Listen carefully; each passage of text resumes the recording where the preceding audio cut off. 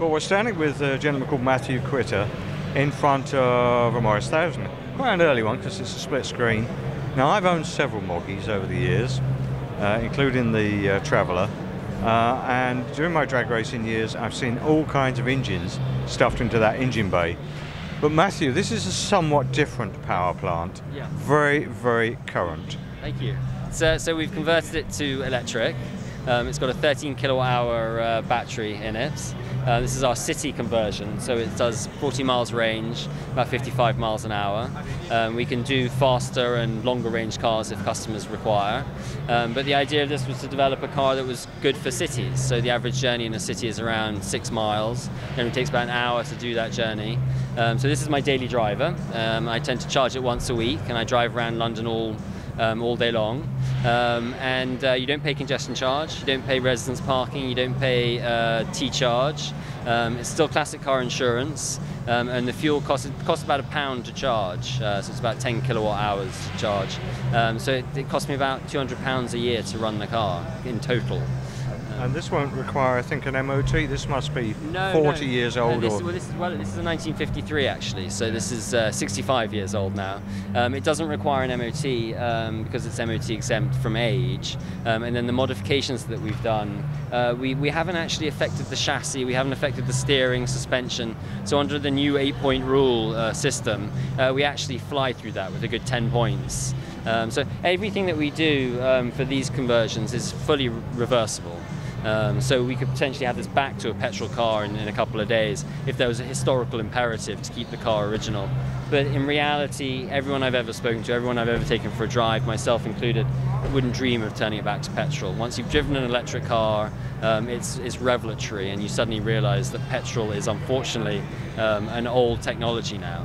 Uh, I, I consider it equivalent to the first time you picked up your, your a smartphone and you're used to using Nokia 2210s, and suddenly you realize that there's been a seismic change in technology, and suddenly your, your old uh, feature phone just doesn't cut it anymore, and you want your friend's smartphone. Um, and I'd say the same is true of this. It's sort of uh, it's it's just a, a, a new way of traveling. I'm quite intrigued by the fact that you were saying you, you use it for city on a daily Yes, basis, yes. but you only charge it once a week. Yes, yes. Driving on average six, seven miles a day. Um, it does 40 miles range, so I charge. Yeah, I charge it. You know, every sort of five, six days. Um, in reality, it takes about five hours to charge, so I'll either leave it overnight or while I'm working, or or if I'm particularly busy, I'll charge it a few, you know, every few days, or I'll charge it for a couple of hours. It's it's very flexible. Um, it's not this sort of. It's like, I mean, there's still a fuel gauge, so it says full or empty, and as you get down to quarter of a tank, you start to think, oh, I should probably look to charge this now. It charges off a 13 amp socket, so where you can charge your phone, you can charge this car, uh, which means there's tons and tons of places where you can plug in. Um, quite often, the front, you know, near the front door of your flats or um, outside, you know, anywhere around here, there's a 13 amp socket.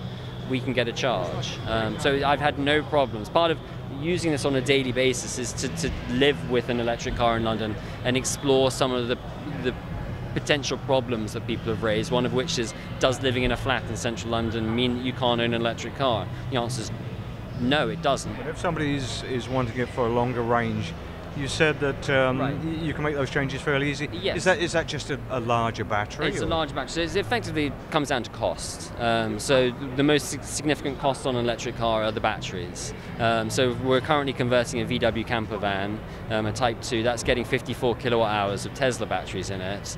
Um, and that'll be able to do about 180 miles of range. Um, but accordingly, it's about twice the price to, convert that than it is to convert this. So this is a 13 kilowatt car, 13 kilowatt hour car.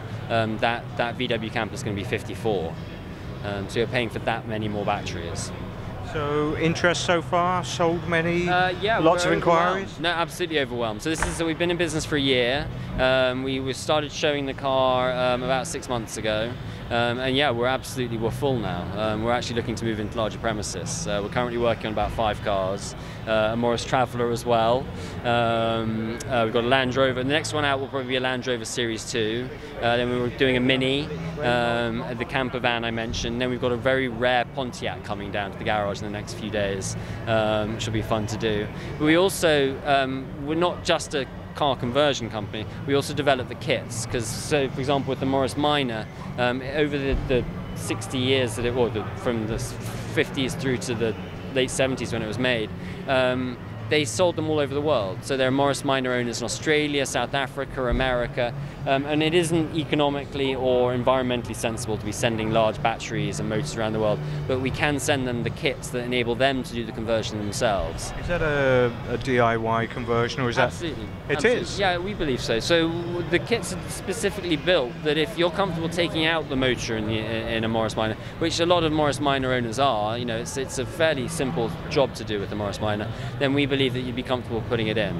Um, it's technically not that difficult. There are so many more parts. To, for example, if you've rebuilt a Morris Minor A series engine, you, you've dealt with nearly a thousand potential parts. There's just not that many parts to an electric car. They just one of the reasons they're far more reliable and they last much longer um, is there's so less moving parts. There's literally two bearings in this that carry the rotor, and that's it. That's the only parts that move. Um, so they don't really wear out.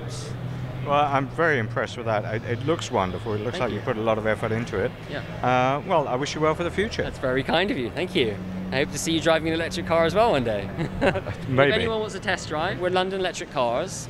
Uh, we can be found online at londonelectriccars.com, but equally we're on Facebook and Instagram, also London Electric Cars.